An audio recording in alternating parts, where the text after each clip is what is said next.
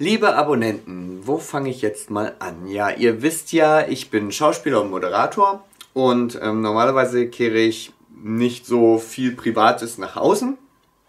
Aber das hier ist ja YouTube und ähm, ja, es ist, ich finde, es etwas verloren gegangen auf YouTube und zwar ähm, das, was damals YouTube so ausgemacht hat, dass man halt hier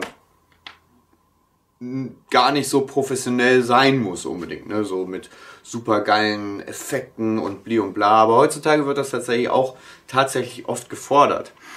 Ähm, ja, bei mir wird sich das allerdings ins Gegenteil verkehren. Ich denke, ich werde wieder ein bisschen mehr back to the roots gehen. Und zwar ähm, versuche ich dieses ganze Video gerade mal ohne einen Jump Cut hinzukriegen. Mal gucken, ich werde einfach nur reden und ähm, ja, entweder ihr hört zu oder schaltet ab. Ähm, aber ich werde auch so ein bisschen, ja, ein paar private Sachen vielleicht loswerden, ein paar äh, Sachen, die gerade in meinem Leben los sind.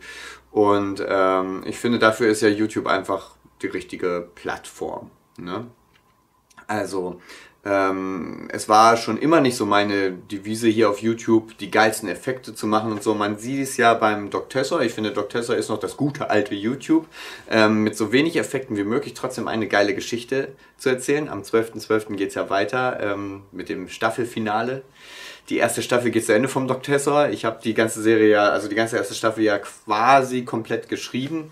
Und endlich bin ich auch fertig geworden mit der ersten Staffel. Die zweite Staffel ist noch nicht, existiert noch nicht in meinem Kopf. Also ein ganz kleiner Hauch einer Storyline, äh, aber mehr noch nicht. Deswegen mal gucken. Ähm, aber lasst euch erstmal überraschen, wie die äh, erste Staffel endet. Ich bin sehr, sehr, sehr gespannt auf eure Meinung. Äh, genauso am 12.12. .12. ist es auch so um 20.35 Uhr äh, läuft auf Kika die Folge Leider Lustig, äh, in der ich mitspiele. Ich spiele leider diesmal nur in einer Folge mit, ähm, aber dafür mit dem SpongeBob Schwammkopf-Sprecher und ihr seht, was wir für einen Spaß hatten. Ähm, und gleich danach, 21 Uhr, wird dann die neue Doctessor-Folge on online sein. Und äh, da kommen wir nun schon zu dem Ding, warum ich eigentlich hier dieses Video mache. Und zwar, ähm, der Algorithmus ist total kaputt gegangen. Das ist mir eigentlich egal, es gibt trotzdem noch treue Zuschauer, die auch Doc Tessa lieben. Also an Doc Tessa sieht man es nämlich ganz genau, weil die erste Folge hat nämlich noch 76.000 Klicks und ich wette, durch meinen zerstörten Algorithmus haben viele gar nicht mitbekommen, dass es nach der ersten Folge überhaupt zu einer Serie kam. So, wenn man das sieht. So, die sechste Folge, die hat ganz wenig Klicks bekommen, weil der Algorithmus leider kaputt ist. Wir YouTuber werden ja gezwungen, ständig Content zu bringen, äh, lasse ich mich nicht zwingen. Also bedingt. Ich mache jetzt tatsächlich einmal die Woche ein Video, wie schon immer, aber ich lasse mich nicht zu mehr zwingen. Wenn ich Lust habe, werde ich das machen. Und darüber, genau darüber will ich nämlich mit euch reden. Ähm, ich, wie gesagt, ich bin hauptberuflich Schauspieler, Moderator und äh, habe halt das Problem, dass ich so unglaublich gar keine Zeit habe. Ich spiele zum Beispiel 2018 durch das ganze Jahr zum Beispiel wieder ein Musical, muss hier viel Text auswendig lernen und selbst wenn ich zu Hause bin, habe ich keine Zeit, aufwendig Videos zu schneiden, sondern muss hier zu Hause sitzen und Texte auswendig lernen und Songs und so.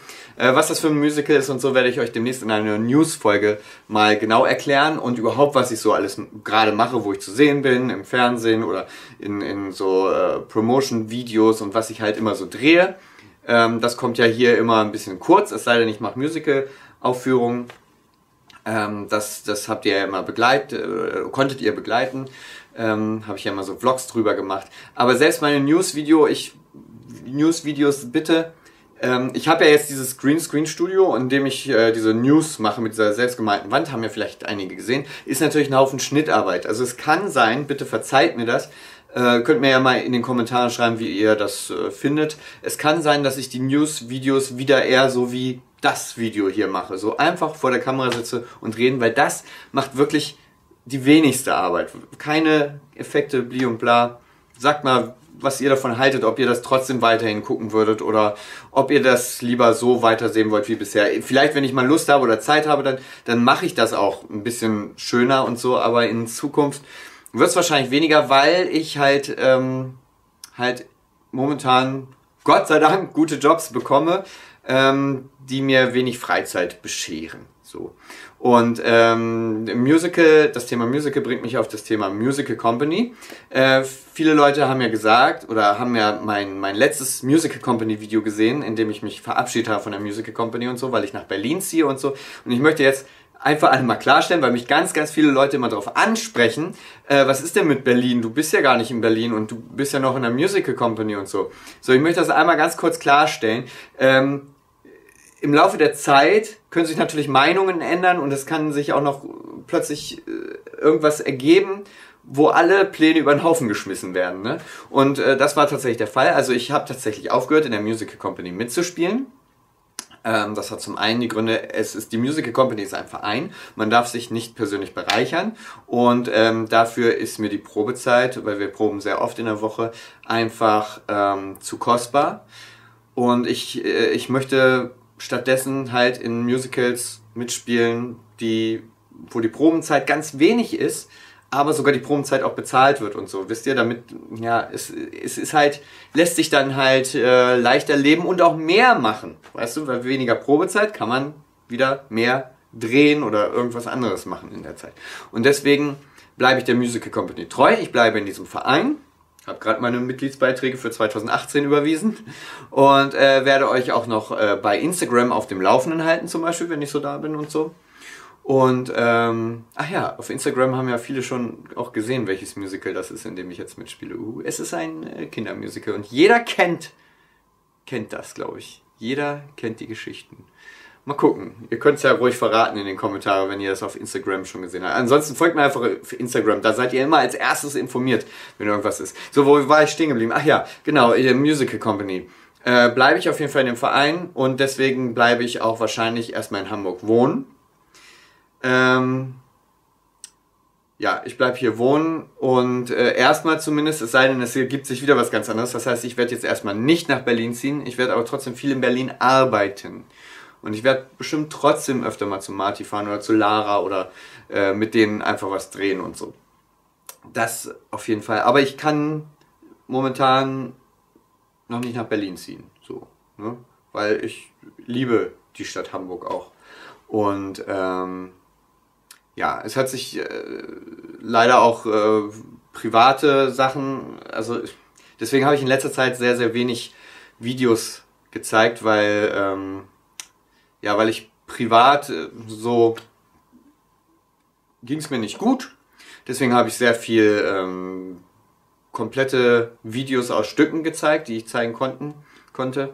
Äh, habt ihr ja gemerkt, so aus, aus kompletten Stücken mal komplette Songs, aber das wolltet ihr ja sowieso mal gerne, dass ich komplette Songs, falls ihr das verpasst habt, weil ich glaube, es haben sehr viele verpasst. Die Klickzahlen zeigen das zumindest. Dann guckt euch mal die letzten Videos an, da könnt ihr mal komplette Songs sehen. Ähm, nur ich hatte halt, wie gesagt, aus persönlichen Gründen wenig Zeit dafür. Ähm, und habe deswegen ähm, diese Dinger hochgeladen.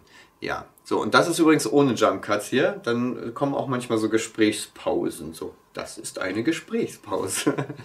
ähm, ja, ich hoffe einfach auf Nachsicht von euch. Ähm, und wie gesagt, ich wiederhole mich gerne nochmal. Schreibt mir in die Kommentare, wenn ihr, wenn ihr ähm, sagt, das ist mir egal, lieber so oder ist euch sogar lieber so auf diesem Wege, wenn ich mal mit euch kommuniziere oder die News sage, wo ich zu sehen bin und so. Es gibt da zum Beispiel ein besagtes Einhorn-Video von mir, was, ja, in der Company werde ich da sehr aufgezogen. Für eine Hotelkette habe ich ähm, ein Einhorn gespielt zum Beispiel. Das kann ich euch schon mal verraten. Und ähm, also es können sehr viele Leute schon mitsprechen, ja. Dieses Einhorn, ich glaube, ich werde mir das in 30 Jahren noch anhören können, dass ich dieses Einhorn gespielt habe. Ja, soll ich es mal verlinken? Soll ich es verlinken? Verlinke ich es hier unten? Ja, ich verlinke es mal. Ich werde zwar nochmal ankündigen, wo ich überall zu sehen bin und wo ich mitspiele. Ähm, ja, unten in der Videobeschreibung seht ihr mal das Link, könnt ihr mal von sagen, ja, äh, ich habe ein rosa Einhorn gespielt und habe äh, für die Hotelkette Kindern erklärt, wie man ein Bett bezieht als Einhorn. Ja. So, ist egal. Habe ich jetzt eigentlich alles gesagt, was ich sagen wollte? Ich glaube ja. Also ihr seht, ähm, es ist viel passiert bei mir. Und äh, ich, ich freue mich auf eure Reaktion zum äh, Staffelfinale vom Doktessa. Ich werde auf jeden Fall jeden Kommentar lesen. Übrigens, achso, das wollte ich auch noch sagen. Ich lese übrigens, wenn ihr mir auf Instagram schreibt, wirklich jede Nachricht. Ich antworte nur nicht immer drauf. Ne? Also, weil es oft, also das, das wird mir zu viel am Tag, wenn ich auf jedes antworte. Aber ich habe jetzt noch nicht so viel Abonnenten oder so viel äh, Andrang, dass ich ähm, das nicht lesen kann alles. Also ich kann das schon noch alles lesen. Ähm, nur habt bitte ein Nachsehen, dass ich nicht alles beantworte. Aber lesen tue ich okay? So, dann äh, freue ich mich auf eine schöne gemeinsame weitere Zeit hier. Schöne Weihnachten, einen guten Rutsch ins neue Jahr 2018. Und im Jahr 2018 werden wir ganz viel zusammen hier auf diesem Kanal erleben, okay? So viel verspreche ich euch. Ich werde bei dem äh, Musical wahrscheinlich nicht vloggen dürfen, weil selbst die Kostüme Rechte haben. Es ist äh, eine sehr, sehr bekannte Produktion. Okay, genug geredet. Ähm, ihr könnt mir Fragen auch hier unten noch stellen, falls ich irgendwas vergessen habe oder so, schreibe ich es auch in die Kommentare. Ich antworte auf jeden Fall hier in dem Video auf Kommentare. Ne? Das mache ich. Auf jeden Fall. Bis dann und äh, abonniert mich auf Instagram gerne auch. Bis dann. Macht's gut. Rock'n'Roll. Ja, das war mal ein One-Cut. Ich hoffe, es war euch nicht zu langweilig.